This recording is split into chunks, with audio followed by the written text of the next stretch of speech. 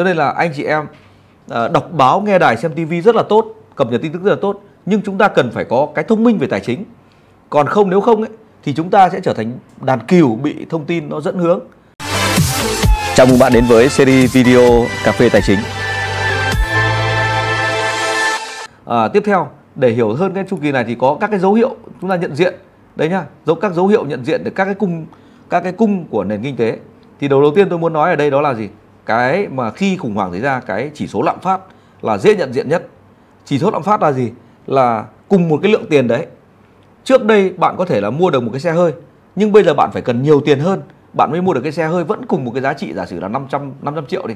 À, bởi vì là cái giá giá trị của đồng tiền nó nó nó nó mất giá. Và thay vì trước đây là giá cái xe hơi lên 500 triệu thì bây giờ bạn phải mua 500 rưỡi 600 ờ, trước đây bạn mua lương thực thực phẩm có thể là mất khoảng 100 nghìn là bạn có thể ờ, đủ một bữa tối cho cả gia đình rồi. À, nhưng bây giờ bạn phải mua đến 200 nghìn 300 nghìn. Đấy thì cái cái cái đồng tiền nó mất giá làm cho vật giá leo thang hàng hóa leo thang. Đấy và làm cho cuộc sống sẽ khó khăn hơn. Anh chị em nhìn lại cái chu kỳ khủng hoảng trước đây năm 2008 2010 thì cái uh, lạm phát cơ bản nó chỉ loanh quanh khoảng đâu đó là 3 thôi. Nhưng bây giờ các bạn thấy là lạm phát bây giờ nó có những lúc lên đến tận 7 8 và bây giờ hiện nay đang duy trì đang ở ngưỡng là 4.95 đấy 4,95 và cái kỳ vọng của cục dự trữ liên bang sẽ kìm chế cái chỉ số này về dưới 2 đấy ờ, vì về dưới 2 và từ 4.95 đến 2 này là một chặng đường rất xa nhá. Kìm chế lạm phát từ cái đoạn đỉnh cao này về 4.95 thì nhanh. Nhanh đến bây giờ nó cũng mất hơn một năm rồi anh em. Đấy từ tháng 3 năm ngoái đến bây giờ là hơn một năm rồi nó mới kìm chế được. Từ cái đỉnh này sụt về đến năm có là nó mới sụt được mấy phần trăm thôi. Nhưng mà từ chu kỳ trước đến chu kỳ này. Chu kỳ trước là lạm phát là năm đến bây giờ là 4.95 có là một cái chu kỳ đấy là hơn một tháng nó mới giảm được 0,05 thôi. Từ 5% lạm phát mà bây giờ nó mới sụt xuống còn có 4.95 có nghĩa là cái hành trình đi từ 4.95 này về đến dưới 2 nó là một hành trình rất dài. Cái này là phải thực tiễn đo lường chứ không ai có không có cái chuyên gia nào nhận định được là bao nhiêu tháng bao nhiêu năm nó về đây cả. Đấy cho nên là chúng ta phải rất bám sát các cái chỉ số từ thị trường còn đây là cái đồ thị lãi suất của đồng đô la vì nó lạm phát tăng cao như thế này cho nên là cái biện pháp hay là cái công cụ sử dụng thường dùng đó là gì tăng lãi suất và từ tháng 3 năm nay năm ngoái đến nay tăng 10 lần rồi Đấy, có lần tăng đến tận 0,75 điểm phần trăm cơ bản và bây giờ nó đang duy trì ở 5.25 lãi suất cơ bản. Thì đây là cái biểu đồ của lãi suất của đồng đô. Vì là cái chúng ta nhìn vào quá khứ này.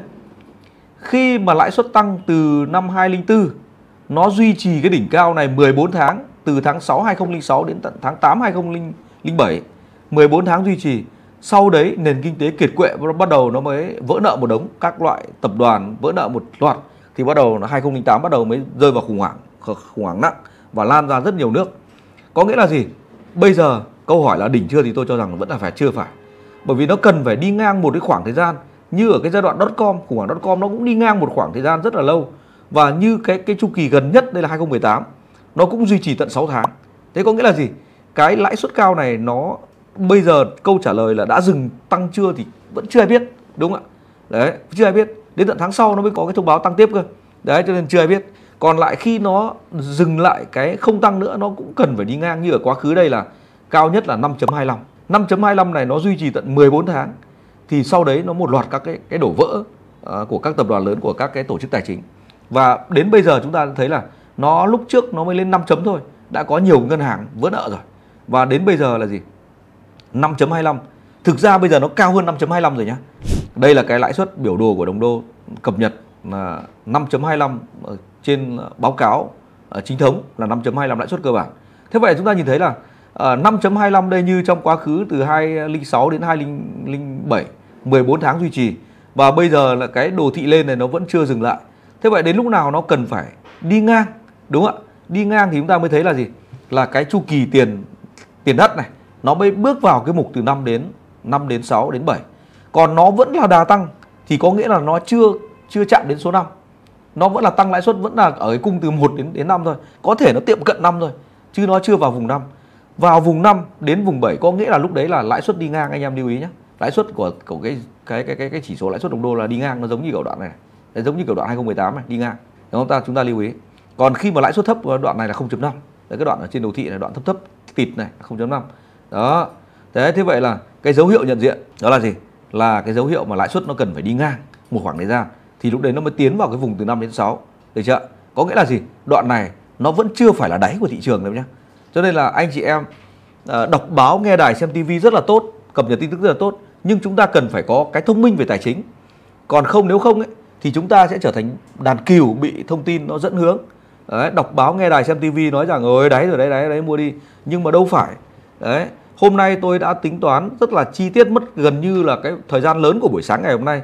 Tôi ngồi thì tôi tính toán lại với đồ thị chỉ số vn index. Thì tôi nhìn thấy rằng cái đáy ít nhất nó phải chạm tới đó là quanh cái ngưỡng 900 điểm chỉ số. Đấy có nghĩa là gì? Từ đây đến đó nó vẫn còn có rất là nhiều các biến động bất thường ít nhất nó cũng phải chạm lại cái vùng 900 điểm chỉ số thì nó mới là đáy. Còn bây giờ nó vẫn còn đang lang thang ở trên á còn xài lắm anh em ạ. Cho nên cùng lưu ý cái đoạn này nhá. Tiếp theo này. Đấy cái bối cảnh hiện nay thì cung tiền của tất nhiên là khi tăng lãi suất. Đây khi tăng lãi suất thì đồng nghĩa việc là tiền được hút về được hút về đúng không ạ? À, tiền đầu tái đầu tư cho sản xuất đầu ờ, kinh doanh là người ta sẽ phải cân nhắc rất là kỹ. Bởi vì có thể sản xuất kinh doanh nó không lại được với cái lãi suất cao như thế này chính vì thế cho nên là cái động thái đầu tiên là tiền bị hút về. Đây là cái đồ thị cung tiền chúng ta nhìn thấy là sụt giảm liên tục uh, suốt từ năm đầu năm hai, ờ, uh, 2022 đến giờ. Đấy và liên tục sụt. Nó còn sụt nữa chắc chắn nó còn sụt nữa. Đấy đây là đồ thị cung tiền nhé. Nó còn sụt nữa. Và chúng ta nhìn thấy à, đây là cái bối cảnh kinh tế hiện nay đối với Việt Nam. Thì à, với cái mức tổng mức bán lẻ hàng hóa doanh thu từ lúc đỉnh, đạt đỉnh vào tháng 8 năm ngoái đến giờ là liên tục sụt giảm qua các tháng. Đấy đấy là tổng, có là, nếu như ai làm hoạt động bán lẻ, chúng ta sẽ thấy là bây giờ là cái hoạt động kinh doanh cho mức, gọi là mức thiết yếu thì là vẫn còn hoạt động tốt. Còn những cái hoạt động kinh doanh liên quan đến hàng xa xỉ, hàng, gọi là hàng cao cấp thì chắc chắn sẽ bị sụt giảm. Khách đến, quốc tế đến Việt Nam cũng sụt giảm, tính từ mùa hè năm ngoái đến mùa hè năm nay. Tháng 6 năm ngoái là đạt đỉnh, đúng không nào? Tháng 6 tháng 7 năm ngoái đạt đỉnh uh, khách du lịch quốc tế đến Việt Nam. Và suốt từ đấy đến nay thì là sụt giảm nghiêm trọng.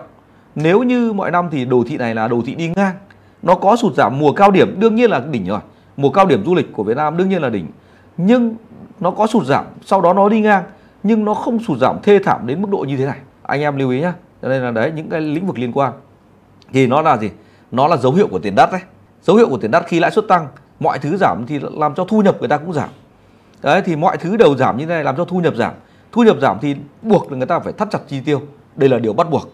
Đấy, cho nên là nếu như bây giờ bạn vẫn còn dừng dưng, có là có nghĩa là gì?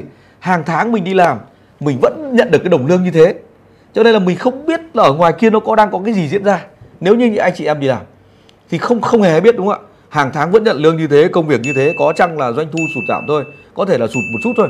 Và vẫn ừ, hy vọng rằng một hai tháng tới nó nó có triển vọng hơn à, tất nhiên ai chả hy vọng đúng không ạ? Nhưng mà cứ càng càng ngày nó càng thấy nó nó nó ảm đạm hơn. À, những ai đặc biệt là những anh chị em nào mà kinh doanh những hàng tiêu dùng à, kinh doanh những hàng mặt hàng bán lẻ thì càng ngày đã càng thấy nó nó nó ảm đạm hơn. Thì chúng ta phải nhớ rằng nó mọi thứ nó đang vận hành theo chu kỳ đúng không ạ? Nó đang vận hành theo chu kỳ. Đấy và tiền đất thì đương nhiên là người ta sẽ phải thắt chặt chi tiêu bởi vì là thu nhập nó sẽ bị giảm hoạt động sản xuất kinh doanh nó giảm sức mua của cả nền kinh tế nó giảm cả nền kinh tế toàn cầu nó sụt giảm. Thì đương nhiên là cái cái vòng quay vòng quay tiền nó sẽ giảm đi và làm cho gì? Chi tiêu nó sắp chặt đấy, thì đấy là đặc trưng của cái từ 1 đến 5 được chưa?